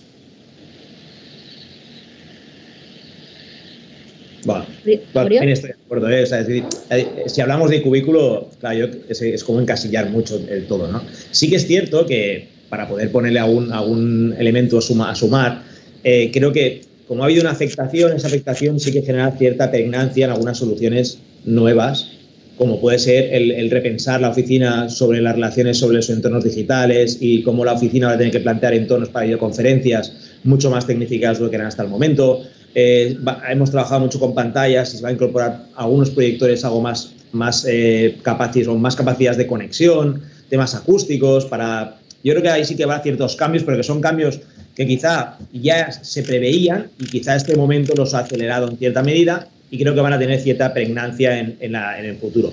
Pero al final eh, yo creo que, no es ese el momento, es el momento quizá que acelera un poco, pero, pero sí, es, como planificar una estructura mucho más cambiante. Entonces yo ahí sí que, estoy de acuerdo que el, concepto cubículo no creo que sea el, más evidente. También creo que sí es cierto que en la, oficina algunas zonas se acercarán a algo más parecido al cubículo, dependiendo mucho, yo creo que lo, que depende mucho es también en, el webinar anterior, a veces para no repetirme intento cambiar cosas, hablé un poco de lo que es el trabajador Anchor, lo que es el trabajador, el Gatherer, el Navigator, los tipos de trabajadores que hay. Entonces, claro, cada trabajador requiere una manera de trabajar diferente, ¿no? Entonces, la oficina deberá tener un poco los recursos para cada uno de estos tipos de trabajadores. No es lo mismo un Anchor que está fijo y que requiere de una, una estructura ergonómica muy importante, como un Navigator que va esas dos horas y, y trabaja poco en, el, en corporativo. Entonces, bueno, claro, yo creo que la oficina será mucho más versátil y cada trabajador tendrá su lugar, se lo irá condicionando y luego va a cambiar. Entonces, esa agilidad creo que es, que es fundamental. Sí, sí, pero el cubículo en sí, tipo estructurado como el, no sé, como pues se planteaba en algunas, eh, no, no creo que no, creo que, es, que no funcionará. Pero es bueno, son hipótesis, pero no tengo la bola, así sería genial tenerla, lo prometo. Vale. Jacinto. Pues yo concuerdo con lo que se ha, se ha hablado aquí y creo que es deseable que bueno, pues se humanice cada vez más eh, la vida, tanto laboral como profesional, y por ahí deberían ir los tiros, pero claro, eh, la situación que hay actualmente, eh, hay un... Exactamente no se sabe muy bien qué es lo que va a ocurrir. De hecho, eh, pues lo que está ocurriendo y va a seguir ocurriendo hasta que no encuentren las vacunas es que predomina mucho eh, no solamente el cubículo, sino que existen los biombos de separación de metacrilato, etcétera. Y bueno, pues desgraciadamente, eh, por las obligaciones que existen actualmente, va a ser así. Es así. Ahora, ¿qué es deseable? Pues lo que habéis comentado. Vale. Gracias. Eh, a ver, seguimos. Eh, a ver, tenemos oficinas que cada vez se parecen más al hogar y luego casas que tienen funcionalidad de oficina por el tema del teletrabajo. Mm, ¿Cómo conseguimos ese equilibrio? Mm, de saber separar cuando estamos en una oficina, en un hogar, ya todo es lo mismo. ¿Cómo lo veis vosotros? Pues yo creo que aquí es donde entra eh, la parte de diseño, ¿no? Tenemos como una responsabilidad por un lado nos hemos dado cuenta que nuestras casas no están bien diseñadas, ¿no? que hemos tendido hacia em, priorizar el número de habitaciones y los espacios comunes han ido reduciendo, reduciendo, reduciendo. Y ahora en esta pandemia nos hemos dado cuenta que al final hacemos vida en los espacios comunes y que las habitaciones no pasamos tanto tiempo, ¿no? Entonces, realmente tendremos que reenfocar esos espacios domésticos hacia mm, la versatilidad donde se prime los espacios comunes frente a esas individualizaciones de las habitaciones. Y por otro lado, eh, las oficinas yo creo que nos va a pasar un poco igual. El diseño nos tiene que ayudar a romper con esa monotonía que nos solemos encontrar y mm, una idea que nosotros fomentamos siempre es romper, ir rompiendo con diferentes hitos em, para que los espacios se puedan reducir y se hagan completamente mucho más domésticos. Eh, y un poco la idea va por ahí, donde sí que vamos a poder separar, porque yo creo que ese, ese camino entre un sitio, de un sitio al otro, es el que nos ayuda a desconectar, pero si ese espacio de trabajo pudiera asemejarse muchísimo al espacio donde vivimos, creo que sería un punto a favor. y ahí es donde el diseño tiene que ser de calidad y tiene que estar pensado. Vale. Yo por lo que veo, por ejemplo, en temas de, iluminación, es que eh, en la oficina ya estamos avanzando el camino para que se acerque más al hogar. Es un camino que ya hemos mucho avanzado.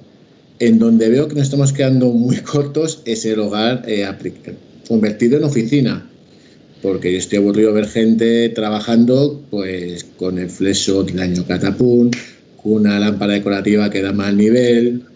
Entonces muchas veces tienen que plantearse adaptar su vivienda de alguna manera para poder tener un buen trabajo. No es lo mismo una persona que está en su casa trabajando una hora que una persona administrativa, y que a veces hay más, por ejemplo, funcionarios que pueden trabajar desde su casa si no tienen bien trabajada la iluminación, o bueno, si no tienen trabajado el puesto de trabajo, una buena sillería, una buena mesa, van a tener problemas en el futuro derivados de esto.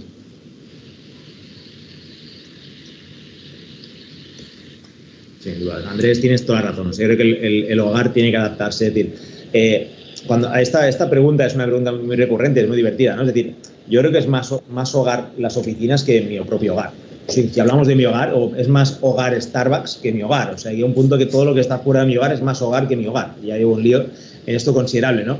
Y porque todo es tan soft, tan textil, tan blando, tan bien iluminado en exterior y en el hogar no soy capaz de, sinceramente, invertir todo lo que invierte en esos contextos como invierto en mi hogar. O sea, entonces es un tema curioso, ¿no? Y, sí que es cierto que pasará lo mismo, ¿no? Es decir, en el hogar, si tienes que empezar a plantear el dedicar eh, unas, unas horas, un tiempo al, al, trabajo en casa, tenemos que empezar a repensar cómo tecnificar nuestro entorno de trabajo. Es decir, ya no vale tener una silla tapizada, para, sino que requieres de regulación en altura, eh, ergonomía en respaldo, iluminación al, al poder ser con, pensando con el círculo circadiano, como decía Andrés también. O sea, creo que hay que pensar mucho mejor el hogar en cuanto a oficina. Si vamos a trabajar en un puesto fijo en nuestro hogar, ¿no? También, sí, claro, tenemos la suerte en un hogar de poder tener este puesto, es fantástico, sino cómo pensar, cómo prepararlo para trabajar esas horas y luego desmontarlo, ¿no? Acción-reacción, ¿no? Pero sí, es, es, complejo, es complejo porque esa hibridación, la que, la que comentábamos, cada vez más amplia y yo creo en eso, ¿no? creo que últimamente es más hogar lo que hay fuera del hogar que el propio hogar y lo que hay fuera del hogar se le llama hogar, pero es un hogar un poco fake, es un poco, un poco rediseñado, reforzado, ¿no? está como forzado, es tan tan hogar que ya no sé si es hogar. ¿no? Y es una cosa un poco, un poco extraña. Pero bueno, es, es interesante el ver cómo, ¿por qué se convierte en hogar? Porque pasamos muchas más horas en la oficina que en nuestro hogar. Entonces, aquellos aspectos más blandos, más cercanos, más próximos con los que queremos identificarnos, etcétera, pues claro, tienen que estar en el hogar, porque yo, si yo fuera un, un director general de una empresa, lo que quiero es que los trabajadores, evidentemente, lo primero que quieres, o al menos yo creo así, es que la gente esté bien en tu entorno, ¿no? Porque la gente venga contenta, esté a gusto, sea feliz, ¿no? Por eso hay departamentos de felicidad en algunas empresas, ¿no? Porque la gente, al menos ya que está ahí 8 o 10 horas, pues, bueno, de hecho 8, pues esté feliz trabajando y esté en un entorno y cuando llegue al edificio corporativo, ostras, me siento identificado por donde trabajo y de qué manera. Y todos en cierta medida lo intentamos hacer un poco, ¿no? identificados con nuestro hogar, identificados con nuestro entorno de trabajo y es por eso que cada vez ¿no? se van generando como, como espacios bastante hogareños o más. Aunque ya no sé lo que es el hogar, ¿eh? o sea, es un poco también extraño. Es decir, el hogar lo tenemos asociado a una estructura familiar concreta y hoy en día en Barcelona las estructuras hogareñas, familiares se han roto completamente. Bueno, es un, es un lío considerable y muy divertido para investigar es, es, cómo van a ser los espacios y qué entendemos por hogar o si ya entendemos con una nueva tipología de, de espacios o le llamamos con un neologismo. No lo sé. A ver, pero es interesante el hecho de, de plantear eso, que, que, pensemos que yo creo que cada vez más diseñamos oficinas que son más hogar que nuestras casas. Y la nuestra casa deberá incorporar algunos elementos tecnificados, como bien decía Andrés, para, para trabajar en ellas, si lo que vamos a hacer es eso. Sí, sí, sí. Pobre, si queréis cambiar con Jacinto el orden, si no, no le queda nada, pobre. Jacinto, Jacinto venga. Bueno, pues por hacer una síntesis, eh, que las oficinas, eso es claro. Yo, como todo en la vida, depende de, de quién lo enfoque. Hay gente que invierte 10 céntimos en una silla, por decirlo así, y hay gente pues, que mm, no. Entonces, en, el hogar, digamos que es, es más individual, más en, relación a ti y si tienes pareja, porque como, como decía Oriol, ahora la vida es diferente ¿eh? pero en la, la, oficina no, la oficina es un entorno social en las cosas, sobre todo lo que comentábamos de que sea amigable, que sea cálida, que podamos ser seres humanos eh, también en la oficina, una cosa que, que, ahora está vigente afortunadamente y que yo me siento muy orgulloso. En casa, cada uno es lo que es y esa es su peculiaridad. Evidentemente, yo estoy eh, muy de acuerdo con Enrique que la creatividad en la vida es fundamental, porque es lo que te permite disfrutarla. Eh, que no todos los días sean igual encuentres diferente, que te permita todo eso ser em, productivo, pero productivo vitalmente. ¿eh? Eso, eso creo que tienen que ir por ahí siempre que se pueda. La realidad, pues eso es sociología, hay que estudiarla.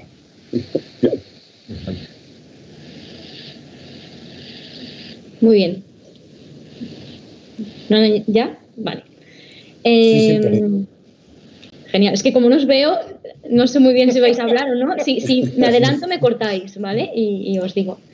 Vale, a ver. Em, han entrado en juego nuevos criterios de seguridad en los diseños de oficinas. Por ejemplo, el tema de evitar las juntas, la porosidad de los materiales, luego lo del tema de las mamparas, que muchas están hechas de metacrilato, de plásticos. ¿Creéis que esto es compatible con, con el famoso tema ahora también de la sostenibilidad o, o es imposible? Hay que buscar nuevos materiales, ya están inventados y son los que son. No sé si podéis dar algún ejemplo de que os haya ocurrido hace poco con este tema, ¿no? De ¿Se puede ser sostenible y compaginarlo con todo este elenco de mamparas y materiales plásticos? No sé. Pues yo aquí voy a ser súper, súper firme con mi argumento, porque... Sabía, sabía que Enrique iba a ser muy firme. Está con la sostenibilidad, vamos, porque por totalmente. Es verdad que ahora desde el estudio y junto a Estudio Reciente estamos fomentando muchísimo la sostenibilidad y creemos que aunque cueste más trabajo, es nuestro deber y nuestro compromiso con el planeta poder hacerlo. Es verdad que no va a ser el camino fácil, por eso creemos que la solución no son mamparas de metacrilato. Esto no nos va a ayudar a o sea, no tenemos esa falsa, nos están metiendo como esa falsa protección que no va a ocurrir. Entonces, yo creo que volviendo a ese lado del compromiso, tenemos que fomentar la economía circular. Esto es algo que estamos, que se va, vamos, va a estar mm, en boca de todo el mundo, porque la economía lineal, como la entendíamos, eh, ha llegado a su fin, ¿no? No puede ser que diseñemos algo, se produzca y acaba muriendo y se convierta en desecho. Necesitamos que esté completamente en movimiento. Eh, para eso hay como tres principios que nosotros vamos a intentar eh, incorporar en nuestro trabajo, que uno es, desde el diseño, diseñar e intentando no pensar en desechos y en la contaminación. Esto es tan importante como cuando piensas un material que no sea un material que venga de cero, que pueda venir eh, reciclado desde otro y mm, que si igualmente antes de llegar a su, mm, digamos, a su muerte pueda servir para otra cosa, ¿no? O pensar en un material que al finalmente sea biodegradable. Otro es eh, que, que, está muy ligado con lo que les explicaba antes, intentar eh, mantener los materiales siempre en uso. ¿no? ¿Qué pasaría si realmente mm, se nos acaban los recursos? Que no va a ser así, pero estos materiales tienen que estar siempre en proceso y formando parte de nuevos procesos de, mm, de, fabricación o de diseño. ¿no? Al final es como la energía que no se destruye, se transforma. Y por último, eh, yo creo que tenemos que fomentar el generar sistemas naturales, ¿no? que es un poco lo que pasa en el, en el medio ambiente actual. O sea, una hoja que se cae de un árbol se convierte en comida de otro animal, que al final se lo come otro. O sea, al final tenemos que generar ese tipo de sistemas naturales y vivos que, que fomenten, digamos, acciones yo creo que mucho más conscientes con el medio ambiente. Por eso creo que tenemos que huir 100% del uso de plásticos. Es algo que nos va a costar. Es muy complicado ser completamente radicales y decir no voy a volver a usarlos mucho más, pero eh, debemos hacerlo, es nuestra responsabilidad. Otro factor que nosotros utilizamos y que os invitamos si no los conocéis son los ODS, eh, que los... Eh, a ver un momento, que es, digamos, la Agenda de 2030 que propone la ONU y son 17 puntos eh, que fomentan la sostenibilidad y que deberíamos fijarnos todos en ellos. Los ha dividido desde igualdad en el trabajo, eh, cuidar la vida submarina, cuidar la vida terrestre. Y estos puntos son bastante sencillos y podemos incorporarlos en cualquier método de diseño, en un objeto o, incluso en la arquitectura, ¿no? que es lo que estamos intentando fomentar. ¿Por qué ahora la comida sí que se fomenta que algo sea de proximidad, que venga del huerto, que conozcas de dónde venga, que sepa algo, ¿no? ¿Por qué no poder trasladar este concepto que ya está integrado en la, gastronomía, integrarlo también a el producto, a la arquitectura, al diseño, los interiores y, ese diseño de producto, ¿no? Entonces, yo mm, creo que tenemos que ser mm, muy duros, no fomentar el uso de mamparas de metacrilato sinceramente creo que es como una falsa protección que nos están induciendo y nos va a costar más trabajo, pero es nuestro deber. Y ya me callo que soy un poco pesado, sí. hombre, es que yo sabía que con este tema te ibas a, implicar, porque ya te noto yo muy con la sostenibilidad. Así que nada, bueno, siguiente, Andrés. A ver, con respecto a la eh, iluminación y eso, y materiales que uséis, o no sé, si ya Faro también están muy por la sostenibilidad, entonces entiendo que, también tienes mucho que decir tú, Andrés. Bueno, eh, lo principal, sobre todo en temas de iluminación, eh, lo que se ha hecho en los últimos años para acá, iluminación general, es conseguir unos ahorros energéticos eh, bastante considerables con la entrada del LED. Eso lo primero. Antes estábamos trabajando, pues imaginaros, con una bombilla halógena de 50 vatios y la estamos trabajando con una de 8.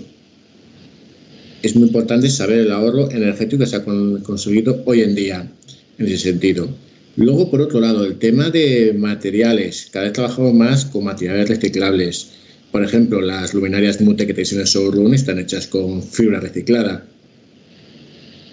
Otra cosa que hemos hecho hace poco, hemos empezado a trabajar en Barcelona con una empresa que se llama Nozama Green esta gente se dedica a hacer entregas sostenibles de, nuestros pedidos. Lo que hacen después del pedido, entregarlo, es recogerlo, recoger los cartones y poder reciclarlos. Al final son pequeñas cosas que sirven para hacer un ahorro interesante de cara al medio ambiente, que no sea solo el tema de plásticos, no, hay muchas cosas más que se pueden hacer eh, si, nos ponemos a pensar en ello. Es cierto. Mm, y dejo paso a Oriol. Vale, no, bien, yo, yo así prudente también, o sea, durante, estoy absolutamente de acuerdo con vosotros, absolutamente, pero para no repetirme, intento aquí añadir algo más. Eh, diríamos que nosotros también intentamos eh, pensar en productos de mucha permanencia, es decir, productos que perduren, es decir, podemos, puedo llegar a pensar, para no caer en, el, en, el, en esa alegoría sobre el que a veces he dicho alguna vez, ¿no? y si algunos que quizá me han escuchado alguna vez sobre la alegoría del kiwi y la sandía, ¿no? Para no caer en esta alegoría de que el kiwi es feote por fuera, pero cuando lo cortas por dentro es verde, pero la, sandía por fuera es muy verde, pero cuando lo cortas por dentro es roja, ¿no? Entonces, para no caer en, en, querer ser muy, muy... intentamos siempre trabajar con materiales eh, reciclables, intentar materiales, intentar trabajar sobre todo intentamos dentro de la, de la economía circular del MacArthur, que habla del, de la economía del círculo del material, que es importante, pero a veces no lo podemos controlar. Yo soy súper sincero, no soy capaz de controlar el ciclo del material siempre. Pero también damos mucha importancia al ciclo del sistema humano y de relaciones humanas que hay alrededor del producto o servicio. Entonces, de la, de la, de la mariposa de MacArthur, de la economía circular, la de la izquierda, nos gusta y si podemos lo incorporamos, pero os prometo que no siempre puedo controlarlo cuando hago un proyecto, es prácticamente imposible y creemos en ello. En la de la derecha, en la parte más humana, estratégica, eso intentamos siempre que eso funcione, mejor, funcione bien, donde nos permiten el tipo de proyectos que hacemos intentarlo controlarlo algo más. Y una de las cosas para no tener, cuando no hay control del material, siempre pensamos en productos que beneficien a, nivel humanístico a las personas y beneficien también en, la, permanencia. Ese producto lo comentaba, ¿no? El Novum es un producto que, es que lo tienes que tener mucho tiempo contigo. Es esa idea, ¿no? Que no es un producto que quieras eh, transformar rápido, mover rápido, no, es un producto ágil para todo, ¿no? Es un producto que está ahí, que lo quieres mantener, que tiene unos valores de, permanencia con, el usuario y las personas, ¿no? Y este es lo que intentamos trabajar desde, desde el despacho y desde JG para que esto sea así, ¿no? Entonces, esa, esa, ese preocupación por el entorno, por el medio, eh, va vinculado a lo humanístico y a cuidar con, la permanencia. Y súper sincero que no podemos controlar siempre la trazabilidad de los materiales. Lo intentamos, ¿eh? pero no, es muy difícil. Hoy por hoy los sistemas son difíciles de controlar. A, nivel, yo creo, vaya. A nosotros nos pasa, ¿eh? quizá a otros, pues, a mí me pasa que no puedo controlarlo. Sí. A veces por presupuesto, a veces por muchísimas cosas.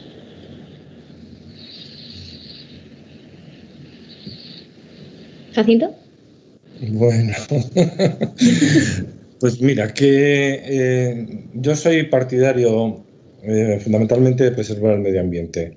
Para mí, eh, hoy por hoy, lo primordial es acabar con la pandemia y evidentemente hay que hacer todo lo posible y ya se, están preocupando los científicos, pero sí que forma parte de, de, de nuestra el poder intentar, como estaban comentando tanto Enrique como Oriol como Andrés, el poder fomentar el círculo este de intentar no contaminar. no solamente se trata, de utilizar materiales, sino en, la vida diaria, en el uso diario de nuestro medio. ¿Por qué? Porque es un bien escaso, fundamentalmente. Eh, TM en concreto, pues tiene la 14.000 y la 14.006, aparte de la 9.000, que, que, preserva eso, es, medio ambiente, ¿no? Y lo que hacemos es trabajar con eso. Utilizamos mm, bosques eh, que son eh, que tienen un certificado que son reciclables y bueno, en, las telas intentamos en lo posible, siempre que no venga prescrito que tenga que ser poliéster y tal, pues utilizar el algodón y, y, estrategias que puedan permitir que todo vaya como pensamos que debe ir en la vida, porque es finita, o sea, los medios que tenemos en el planeta son finitos. Y esta, esta locura que llevamos desde los años 60 de pensar que esto es gastar y gastar y gastar, no, no puede existir. Y con esto yo creo que resumo el parecer de, de, todos los que estamos aquí, prácticamente, ¿no? Efectivamente. Sí. al final yo creo que va a ser una mezcla entre todas las cosas, ¿no? Nuevos materiales, como hicimos un webinar anterior que hablaba de sostenibilidad, que estuvo muy bien, vimos textiles que ya se hacen con material reciclado, hablamos por encima también del tema del FSC, de la madera, todo eso. Habrá más webinars relacionados con eso seguro, porque realmente es que es un tema que está muy en tendencia y que veo que además nos preocupa a todos en, todas las, medidas. Así que nada, pues nada, hasta aquí hemos llegado. Eh, pues muchísimas gracias a todos por los que hayáis aguantado hasta ahora, muchísimas gracias por vernos, a los ponentes por, ofreceros tan amablemente a, a contarnos vuestras impresiones y nada, ha sido todo un placer. Y bueno, a quien queráis conocernos, pues aquí estamos en Du Contract esperando a que vengáis a vernos. Así que nada, un beso muy fuerte y, gracias de nuevo. Hasta luego. Muchísimas gracias. Hasta luego. gracias por todo, Maite, Tony. Chao.